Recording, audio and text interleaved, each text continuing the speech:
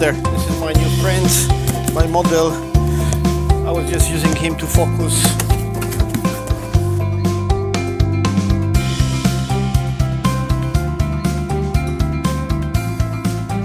I'm in Illmitz by Willi Opitz at his uh, vineyard, Weingut, and we're going to shoot some environmental portraits today for a change for me.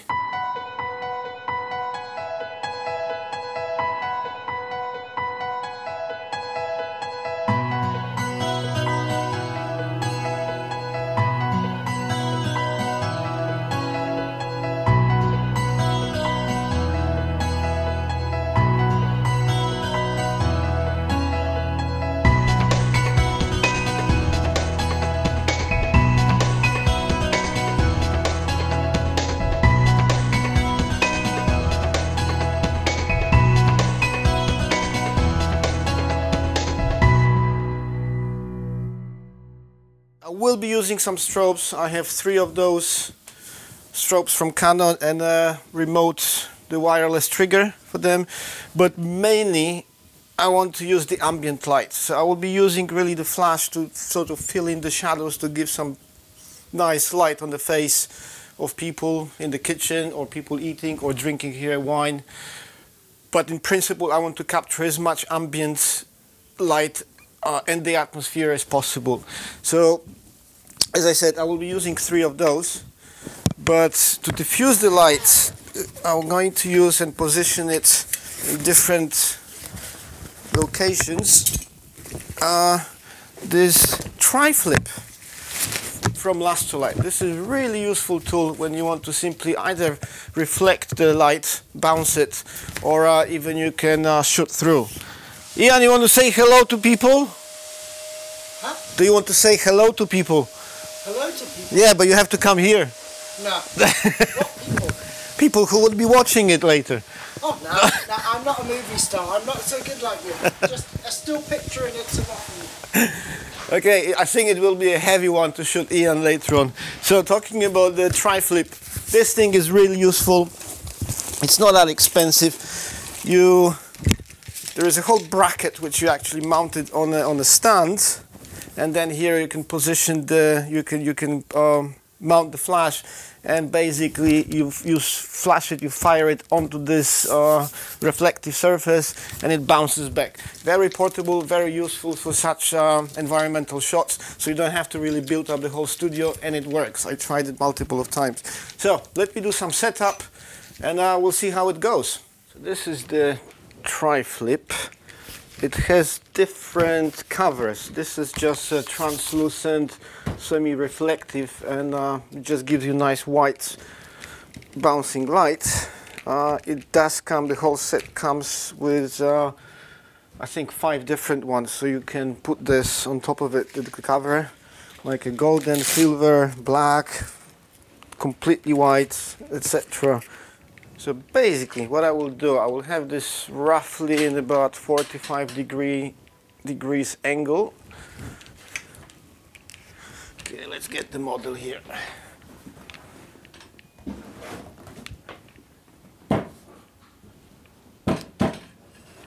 Come on, stand. Let me move the bag. So that's the basic idea. Let's raise it.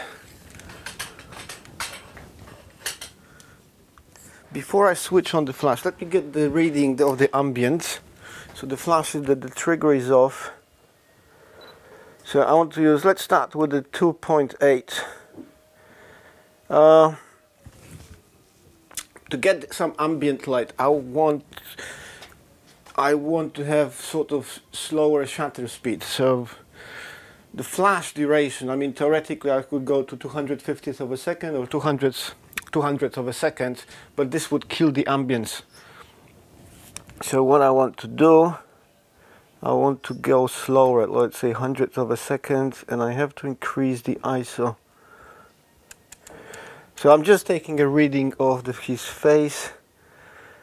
So 400 ISO, let's go 800 ISO, hundredths of a second. I want so I'm slightly like two thirds underexposed. And it's good. I'm getting the ambience. One hundredth of a second, 2.8, and I'm nicely blaring the background to a certain extent. I will use something like 5000 kelvins here. So I want to, or maybe even 4500 kelvins. I might have to put a gel on this flash. Do 4500 kelvins, like take another shot. And now let's try it with a flash as uh, so hundredth of a second, 2.8 ISO 800. So at the moment I'm using ETTL wirelessly and I when I did a test shot with a normal ETTL I think it's overexposed a bit but again this is a paper and it's reflecting so at the moment I set the flash exposure compensation to minus one the idea is that I don't want to have like a portrait in the studio without you know white background. It's something that I want to get this ambient lights. So this thing will, you know, fill in the light. Can I always be the serious one? And uh, nice, but get somehow closer to each other. I might add a second light from uh, from the other side. Come on, Iain. I know you can do it. This is this is not so bad. You see, like yeah. you are moving. Yeah. Change and, and look What's at Iain. There's nothing. It's like long exposure. I was shooting last week uh, environmental portraits. I recorded an intro. I recorded some video footage while taking portrait pictures, but I couldn't really video to such an extent as I wanted because for a simple reason I didn't have time. I had to concentrate on the portraits. The camera was running, but I was not really able to speak about the, the strobes, the settings, etc., etc. So now I'm actually a few days later in the same place in, in the winery of uh, Willi in Illmitz. And now we're going to do some more shots. But today it should be less hassle. So I thought now I have a few minutes. I will follow up and I will speak about the strobe and the, the wireless transmitter, the settings, etc. And uh, I mentioned last week also that I'm using the light, but mainly I want to use it as I want to utilize as much as possible the ambient light. So this is just really to fit as this light is really act as a fill-in light. So I want to get some nice color tones. I don't want to have faces in the shadows or hands or things in the kitchen or people drinking. But I want to capture this ambience, this sort of, you see, it's, it's sort of yellowish tungsten light, but this is the reality and I want to capture that. And if I used more flat strobes, more light, I would kill it or I would have to use the gels to counteract uh, this color light. I said I would be using, before I said last week, I would. I have three of those, the Canon 600 EX strobes and uh, I can't remember what's the name of it. It's just a Canon transmitter. They, they, they look very much the same actually. If you look at the transmitter, it looks like a strobe itself. Uh, but I didn't really use three. I used one. There was no time to, to set up the lights, and I was I was I was moving around the place, in the kitchen, here in the uh, dining area, and I just used this this uh, Lastolite tri-flip worked perfectly, didn't really need additional lights. This light, uh, it's tungsten. So I'm going to, I'm going to change the white balance to 3000 I'm going to change the white balance to 3200 kelvins. It works more or less. I might have to tweak it later. We'll see. Uh, I will be around 2.8. Now let's take the reading, for instance, of this table here. And what does the meter tells me? Okay, I'm sorry, I'm at the AV, so I'll have to go back to manual mode. So let's start with F4, for instance. ISO, I'm going to change 3200 and I'm going to, let's say, hundreds of a second. Theoretically, when I look at the picture, I get the more or less the exposure. I mean, the meter told me it's it's it's well exposed, but it's actually underexposed because there is this this white cloth which is fooling the the, the meter. So let's open up to 2.8. And now the meter tells me I'm one stop overexposed, which is a normal situation for the white cloth. Now the histogram looks much better. I'm not sure if you can see me see it, but it looks much better. Colors are quite close to the real situation, so this is good. Let's get the flash. So I am more or less in a ballpark in terms of the light setup. As I said, this I want to use just as a fill fill light. I want to get the whole situation as ambient. But if I take a picture of myself, I would be dark in most of the situations, especially if I'm sitting here. So I want to use this. The flash will fire up and will bounce onto the uh, onto the scene. I will be rearranging it up and down depending what um, I'm going to do. But for instance, people sitting here, perfect.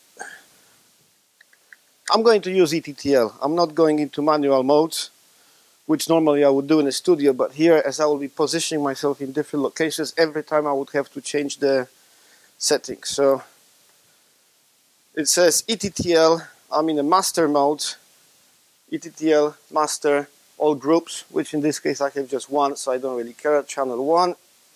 And we should be good. I don't have at the moment any flash exposure compensation. I might be playing with that strobe. Let's just mount it here. So this, this bracket is quite useful. Can just position wherever you need the flash. So this tri-flip is in more or less 45 degrees, but again, I might be repositioning to my needs. So let's switch it on. I am at 35 millimeters ETTLs. This is a slave. This light is red at the moment. As soon as I switch on the transmitter, they will go in. They will go in green. We are ready to shoot. This one is in master mode, and I'm using fully ETTL. Let's do some test shots. I might be uh, using the flash exposure compensation, like minus one or plus one. I have to do some test shots the key to get the ambient light, I mean, sort of using the flash, but also getting this this uh, real light atmosphere is to use, let's say, slow, slower shutter speed. The sync speed of the of the, most of the cameras is two hundredths of a second. This camera is two fiftieths, but if I set the if I set the camera to, for instance, two hundred fiftieths of a second, and I lower down the ISO to okay 200 most probably I would get everything black. It's there's nothing here. The only thing I see in this picture is really the flash the reflection. Everything else is pitch black and the shutter was opened only during the duration of the flash I mean actually the duration of the flash is much faster it's just the maximum sync speed when the, uh, the sensor was opened fully. If I now go to hundreds of a second, that means it's already longer, I will get, the picture will be underexposed, but I start to see something on the wall, so I'm starting to get the ambience. Now, if I pump up ISO to, let's say 1600, so this is now I start to see the ambience. Actually, I see almost everything. But I want to get slower. I want to get I want to get even more ambience. So I'm going to 300 3200 ISO to really just to get everything as I as I see with my normal eyes and this will just fill in those shadows here, etc. As you see now on the video, there is the whole dining area, or actually wine tasting area of the winery. And uh, I want to get this ambience I want to capture this ambience, uh, this, those lights. I don't want to use, of course I want to use the flash, but I want to use it just to fill in the, the, the shadows, to get some texture on on and and the good skin tones on people's faces, uh, but using a normal flash and especially straight on would really kill this atmosphere. So I want to drag the shutter. I want to use relatively slow shutter speeds, like, like hundredths of a second or sixtieth of a second, to allow me to get as much light as possible after the flash. Because what happens is that when the when the sensor is opened, when, when the frame is opened, the first curtain goes up this is called first uh, first curtain, and then the bottom one goes up. Sorry, yeah, the, the first one goes up, reveals the sensor, and then the second curtain starts to cover it, cover it, and then the whole thing goes down, the whole mechanism. But this is what is the sync speed. I mean, every camera is either 200th of a second or this camera is 250th of a second, but basically, this is the longest, sorry, yeah, the sorry, not longer, the fastest time when the sensor is fully opened. If you set, if you use the flash and you set up the the shutter speed, especially if you're in manual mode, to let's say three hundredths of a second, what happens is that the first curtain goes up, and then the bottom one starts to follow it. So during the flash duration, you start this one. The sensor is. Let's put it the other way the sensor is never fully opened because like if you're using let's say hundredths of a second or six, sixtieth of a second it goes up the sensor is fully opened and then the bottom one goes up to close it. If you use anything which is over 250th of a second or over two, 200ths of a second this one goes up and the bottom one starts to follow it. That's why sometimes if, if you had if your shutter speed was too fast you might to see this this black stripe at the bottom of the picture. This is exactly the reason. But I want to use the slower shutter speed I, because if I use only the flash and I and I set it, for instance, to daylight by white balance or the flash white balance, which is five and a half thousand kelvins. Okay, the bottle or let's say the subject or the the whoever would be sitting here, yeah, the, this this face would look natural more or less, but everything here would be yellow but if you start mixing it, so I set this the camera to 3200 kelvins, and so I will get this nice color skin tones. Sorry to say the skin tones on the bottle. I don't have uh, anybody here because I'm waiting for the people to come. But after the flash, so the flash fires. This this this lasts thousands of one thousandth of a second, and then I still have this fraction of a second to get the ambient light. So that's why I want to, this is how you mix the, the, the flash, doesn't matter is it one, two, three, five, 20 of those with the ambient light. If I had 20 of those, I wouldn't go for this because I would set up all the lights all over the place and I would really build up my light. But I don't have, I have only three and I don't have time. Plus I will be using just one because I have to be mobile. I mean with this one, whoever is sitting here or drinking, you just grab the whole thing, reposition, and it works. Let's do step by step. The flash, okay, this one is on, but the transmitter is off, so it will not fire. Let's go to F4. Let's start with ISO 100 and uh, 200ths of a second, which is in most situations would be the sync speed of the camera. And let's take the picture. And what do we get if I get the focus on? And um, yeah, this is from yesterday, the settings. I'm in uh, servo mode. Let's quickly change it. I should have done it before. But yeah. And of course, as expected, it's pitch black except, okay, you, I see some here a light from the window. But in terms of otherwise, it's pitch black. Now let's go on, so let's stay with those settings. F4 ISO 100 uh, and let's switch on the flash. As I said, it's full ETTL, nothing changed, no flash exposure compensation. Now the camera is set, the white balance is to 3200 kelvins. So at the moment this is only this light so if I take this picture it will be very blue as expected but at least I start to see something and it's underexposed.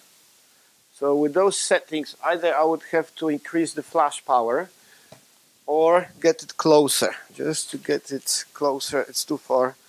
Let's just get a bit lower. I'm not going into this of course if I use the flash if I use the flash on the camera or simply just put it on the table it would be stronger. But I want to have this nice diffuse light bounced from this uh, tri-flip. But as expected 3200 kelvins it's it's yeah uh, sorry it's not yellow it's blue.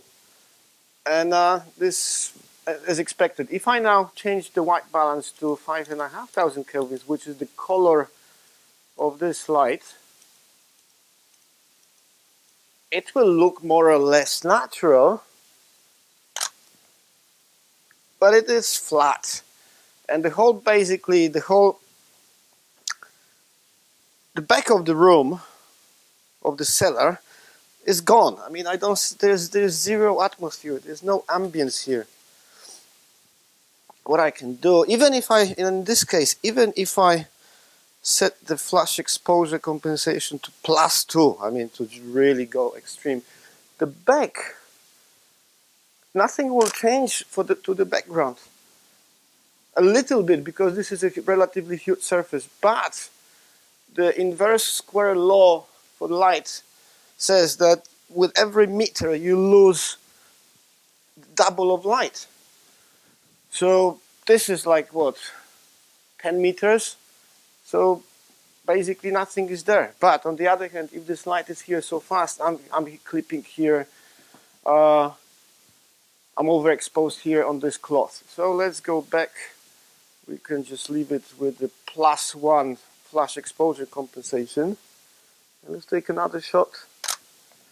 But, okay, so technically it's okay, but this is not a good picture. Let's get, let's bring back some ambience. We are at ISO 100. We use this flash with a white balance set to 5,500 kelvins.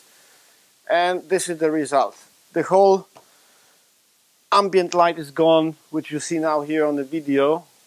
And you see this nice uh, dining area in the winery. We want to capture that on the picture. So we have to, there are two things to do. If I had a tripod, basically what we have to do, we have to allow, allow the flash to fire and we have to have enough, the long enough shutter speed to capture the light like if we wouldn't have the flash. So if I switch off the flash, the, the, the transmitter, and I set, I look at the meter, now I'm really, really underexposed. Okay, with ISO 100, I have to go to uh, 0.4 of a second. Okay, I don't have a tripod, but I have uh, I have a table, so I can do it.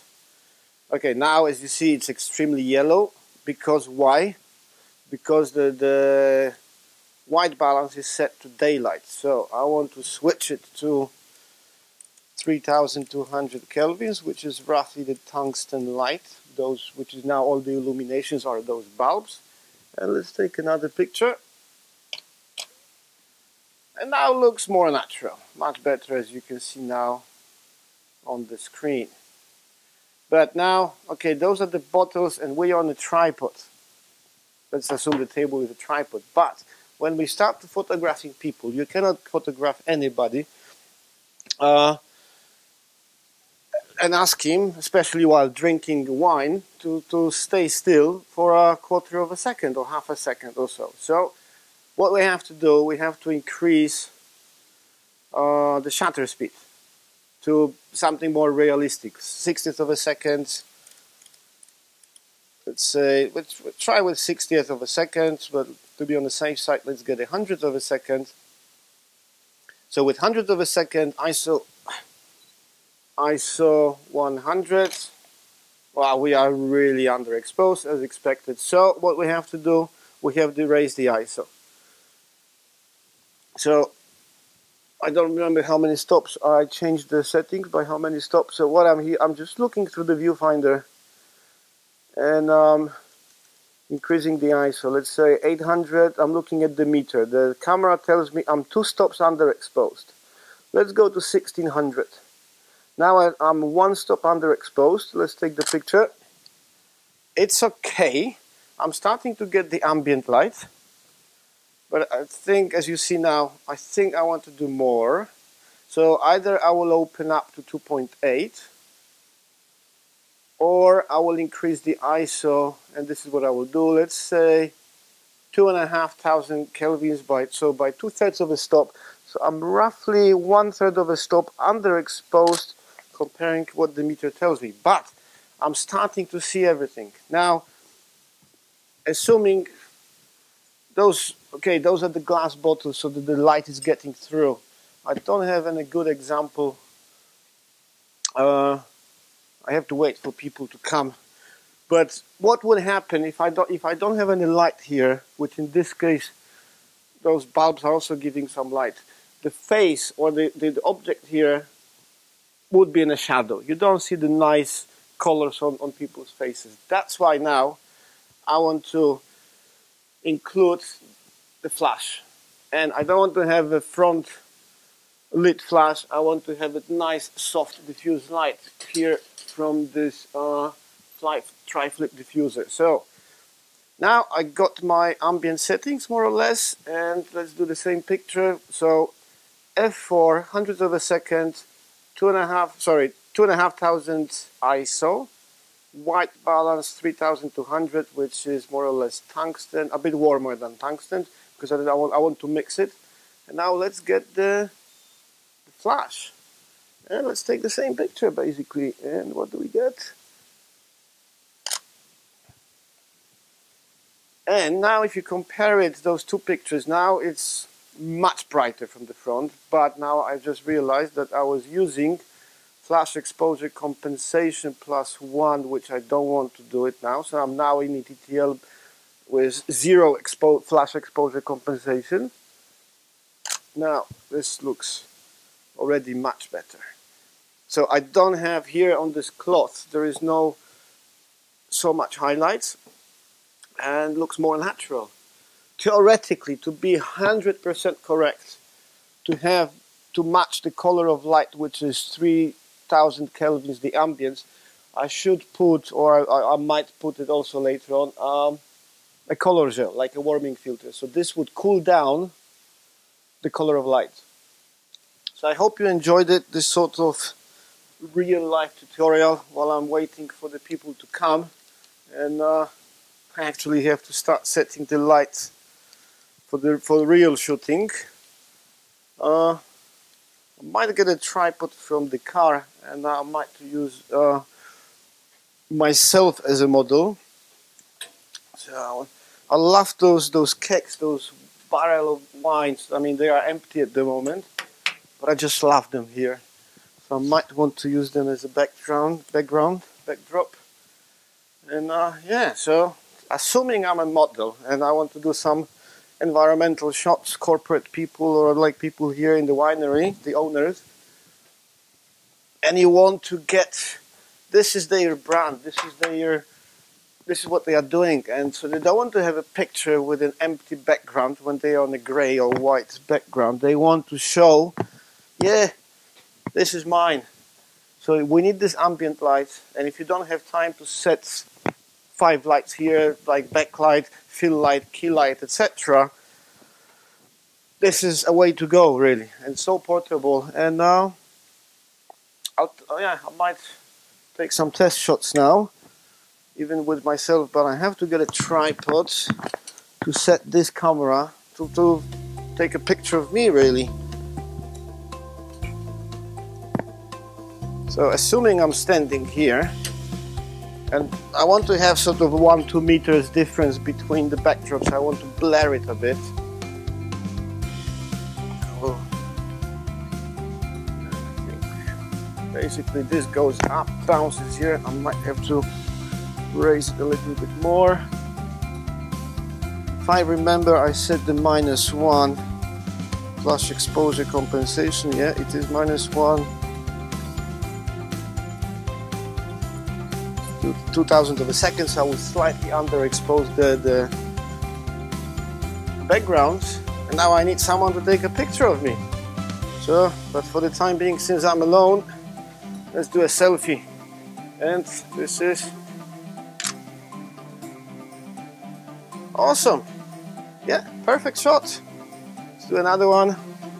I mean, this is the idea of of 16 millimeter lens. I mean, it's quite useful. But yeah, I, I have to go to the car and get a tripod.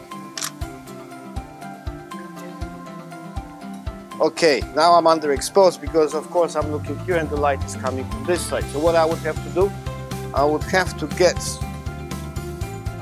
this panel here. So let's do it from this side. So I'm actually looking now into the camera which is filming. And hello there. Perfect.